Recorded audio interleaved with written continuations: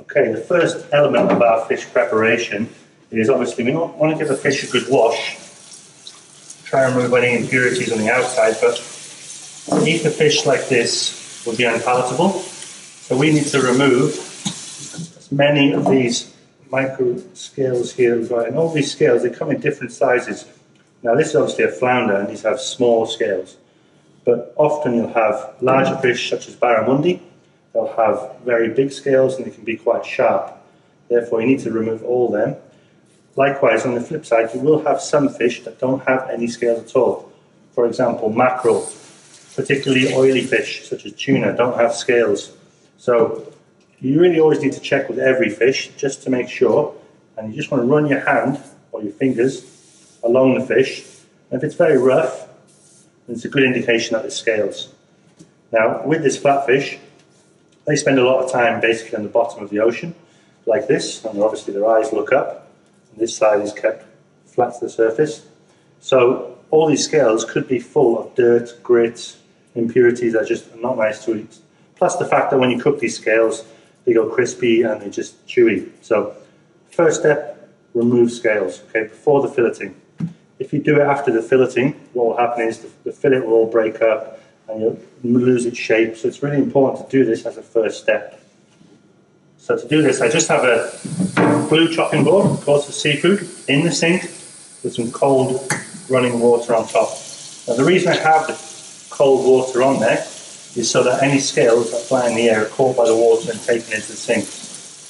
If you try and do this on your bench, you'll end up with lots of scales everywhere and quite likely it will end up in the food. So we keep this to a small area here, such as a sink, with a bit of water to help us. We take a, a knife, usually with a nice flat blade, not serrated. And this is always good to have an old knife in your toolbox because you don't want a really sharp knife in case you tear the skin.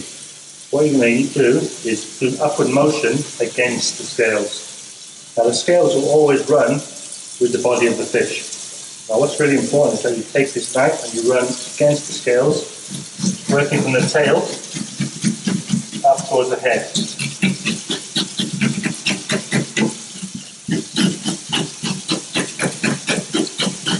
You'll see that all these little scales fly off. You can be quite aggressive with this, making sure your blade, and it's handy to hold it further down, is not at an angle. Keep it nice and straight against the fish.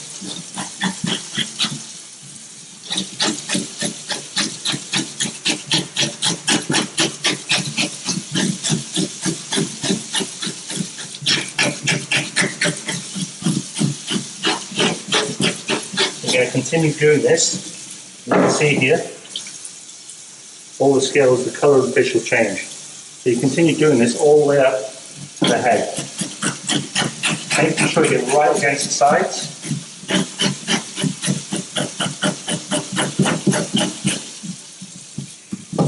Rinsing quite often.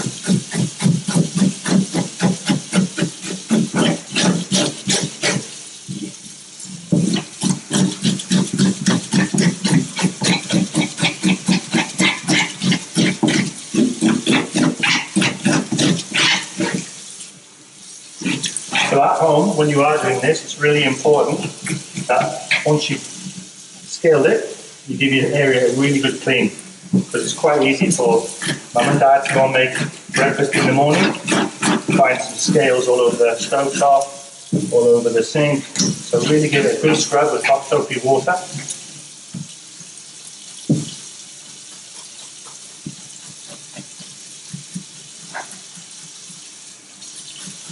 See how I'm making sure I get right to the edges?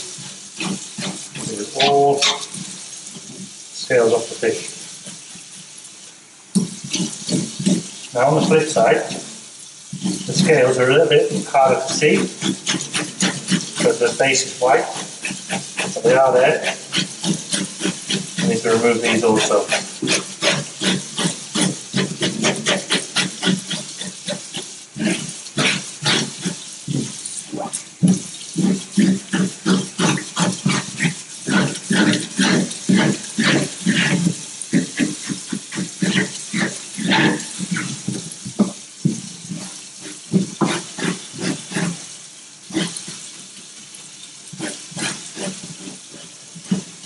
Easier on the bottom than it is on the top. That's our scaled fish, okay? So the next video you're going to see with flounder, we're going to fillet this. So don't stress about, worry about these. We're going to remove them later on. We're looking to remove this fillet and this fillet here. And that's the main area we'll need to remove your scales from, okay? Okay, so here we have our whole flatfish. Depending on the species, some will be very big, as in you can go really big with halibut, and you can go small, such as this one, flounder. Now, typically, if they really are plate size, we can serve the fish whole. So I'm going to show you how to skin this fish, and as you would for a whole fish service. And we're going to use the other flounder to show you how to fillet them into individual fillets. So first thing we need to do with this fish is really just tidy it up, remove all the outside fin, because this is not palatable.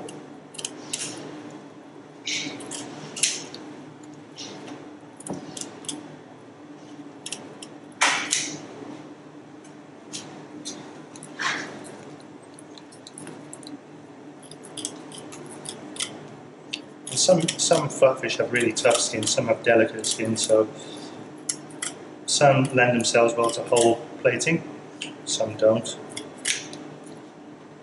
Once we remove that, we'll make a little incision near the tail. Get underneath with our fingers to get the skin.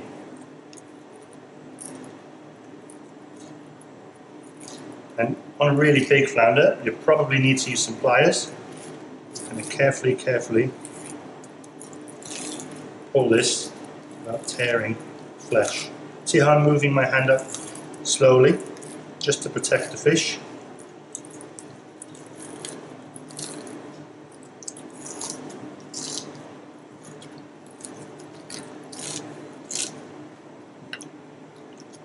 Just this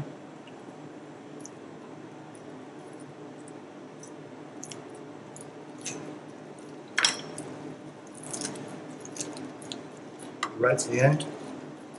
So just the head remains.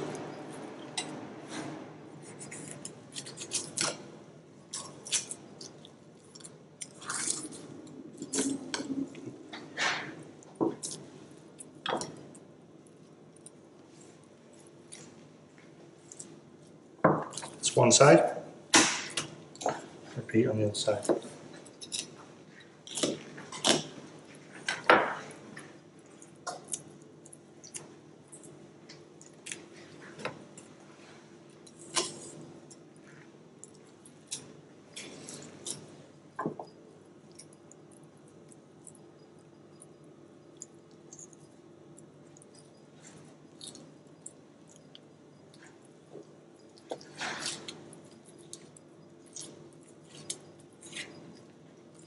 Course, it's better to scale this actually before you do do this, even though you may think it's not necessary, because what happens is the scales just get everywhere if you try and do this. We still need to tidy this up a little bit, because we've got some big things there.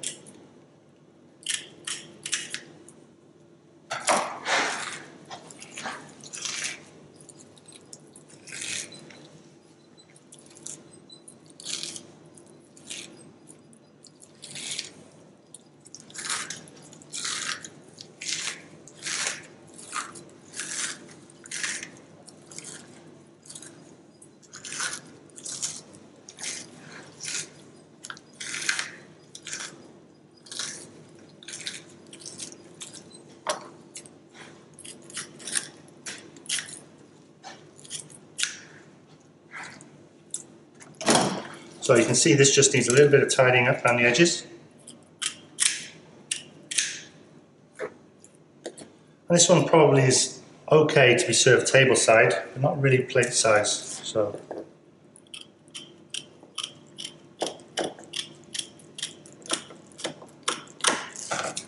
we're fortunate here because the fish has arrived, and it usually happens when you buy from the fishmonger, it's already gutted. Uh, you always should always check for that because the guts will make the fish go bad very quickly if they're left inside. How would you take it out if you needed to take it out? The guts, so what you'd do is you'd insert your knife into the basically what is the fish's anus and you'd scoop all the guts out. But this one has a little incision there and there's nothing there. So there's minimal guts, if none left on that one. So that's pretty good.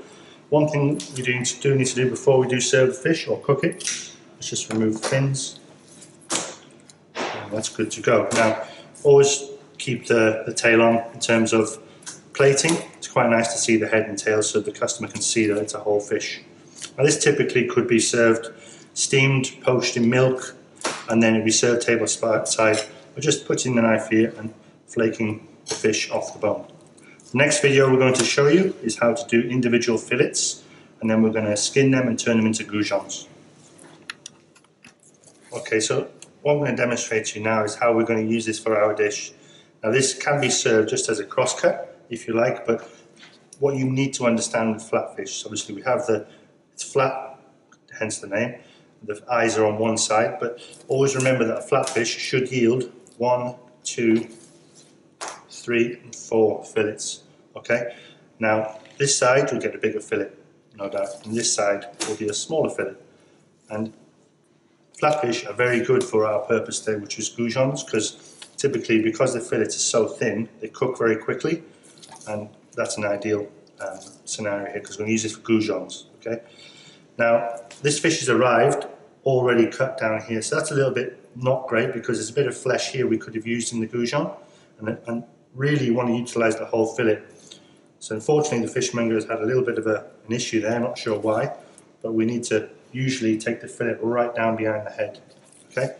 So in this instance there's no need to remove these on the, each side you're going to identify this line that runs down the middle. And that's pretty much close to where the spine would be. Now I've got two knives here. One which is pliable and one that is not pliable. So this is nice, sharp, non-pliable. We're going to use this to run down the spine first of all. You can see the spine here. We're going to just the knife in. Don't press too hard in case you go through the bone. You know, run the knife right down to the tail. Okay. Now here, you can put your fingers in and you'll feel the bone. So I'm going to switch my knife now. I'm going to hold my knife right near the front because I want to gain some element of control. Just be careful you don't cut yourself. I'm just going to run this knife against the bone now. So see how I'm using the bendiness of the knife to basically bend against the bone to make sure I don't lose any yield. I'm working towards the tail.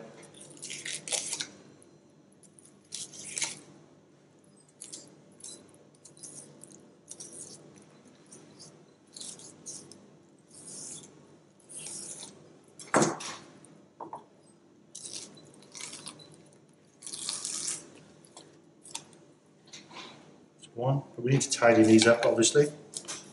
Again with my knife, nice and bendy in amongst the bone.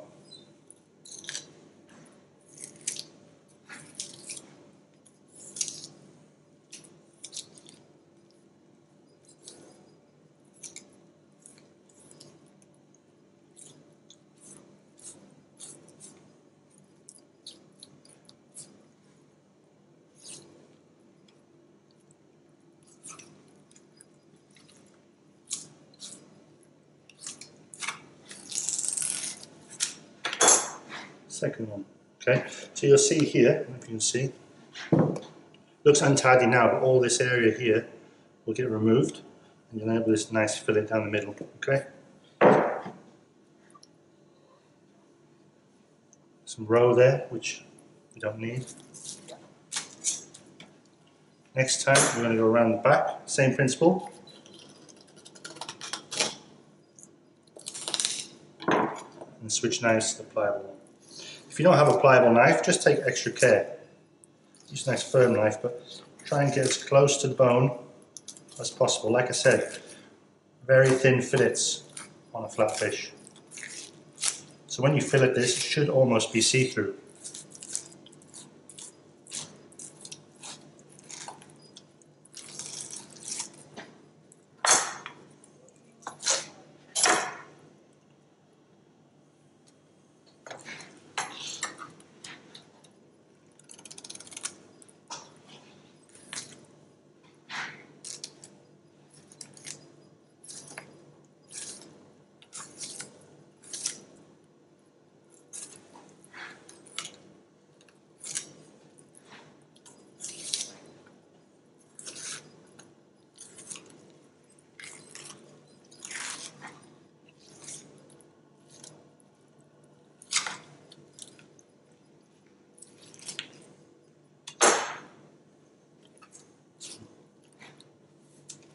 You can see very little meat left on the fish.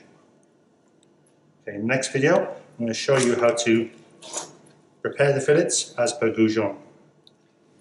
Okay, so we've got two of the fillets here, and they're quite ugly to look at, and you couldn't plate it like this because there's obviously all this here that shouldn't be there. Now what we're going to do is just make it look as it should do on the plate. So we're going to remove this part here because it will overcook if you try and cook that with the rest of the fillet. Now you can see you've got a nice piece of fish here. To remove the skin, and you can serve it skin on, the flounder skin so it can be quite chewy, it's quite thick. For, the, for what we're going to do, we're going to crumb it. So we want to serve goujons. Now to do this, take your fillet and have it close to the edge of the board. I've got a firm knife now. I'm going to hold the tail, I run the knife nice and flat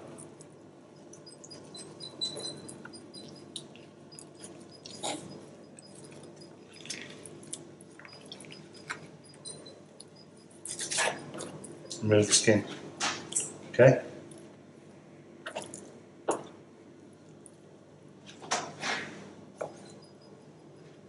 I'm going to serve this goujon, so I'm just going to cut this into a couple of nice strips for later on. This is going to get crumbed.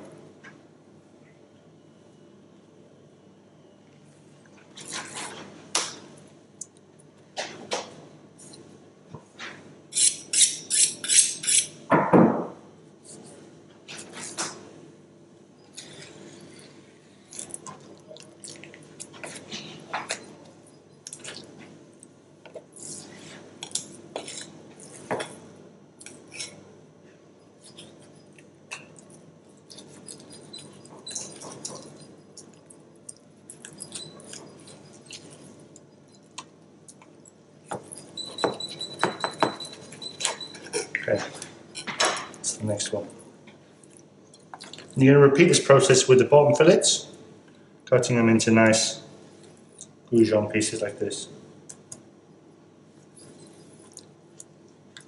So one, two. It's okay with that.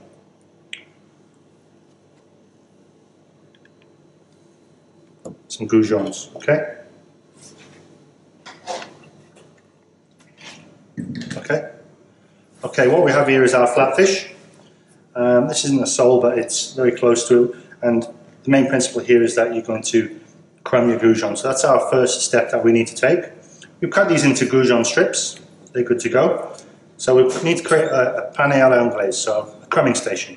Flour, with a good amount of salt and pepper, some cracked eggs, and panko breadcrumbs. So I've got panko here with some parsley combined. Let's just give some colour and flavour to our crumbing. Now, firstly into the flour, you've all done this before, you should know this sort of principle.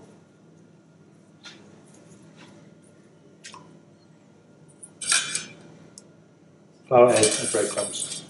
So we're going to do that with all our fish, okay? So you can do this at home, and remember you're only cooking one portion, but there's no reason why you can't crumb up all your, all your fish and cook them for mum and dad. Or your mates, either or.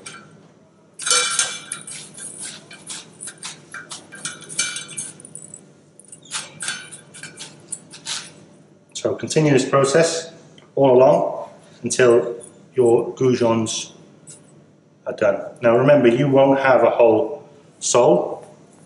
This is purely for you to look at, okay? So completely ignore that in this retrospect. You're just gonna crumb those strips of fish ready for your next dish.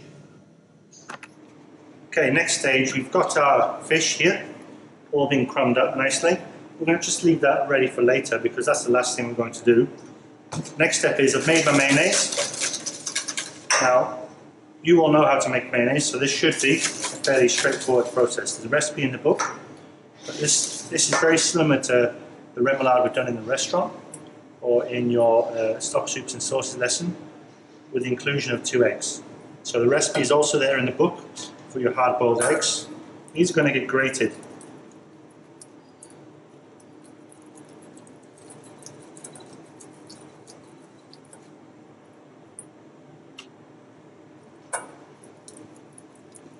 So once they're grated, I'm going to bind this with some mayonnaise.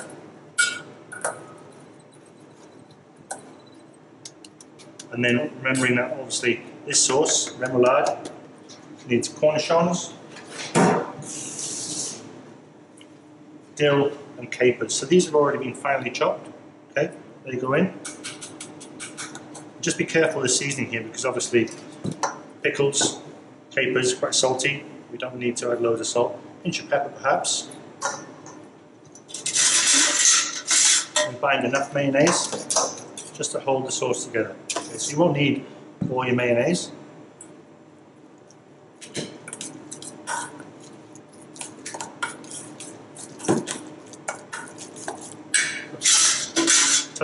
Perhaps.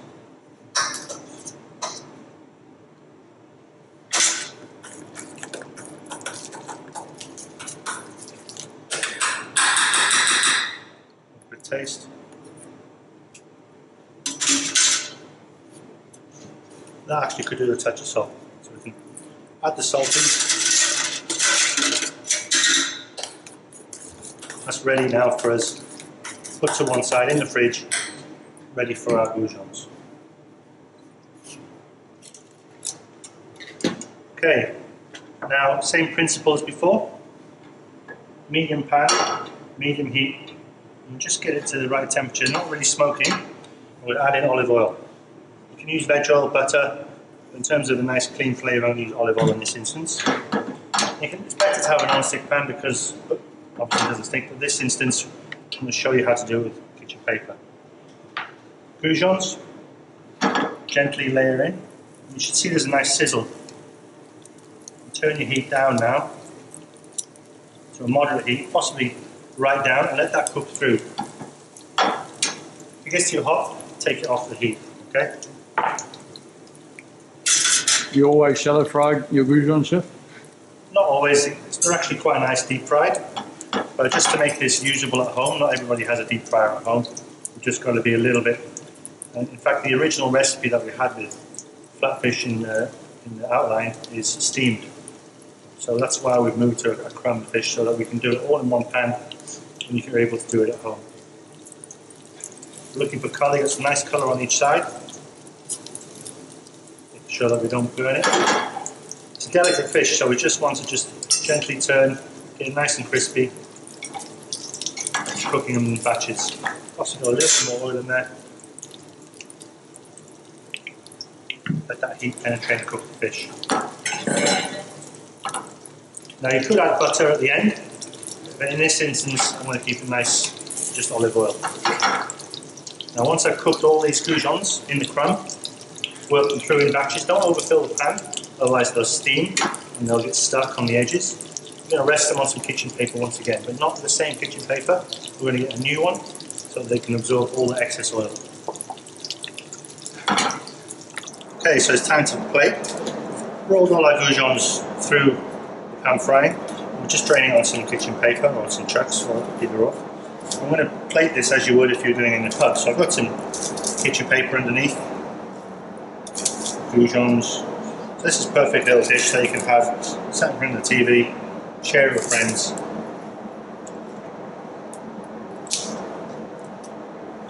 Either up. Nice big spoon the remoulade.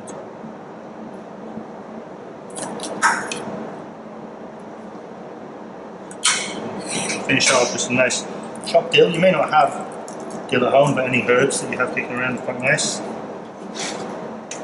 And then we can go one wedge of lemon to garnish. Another beautiful goujons.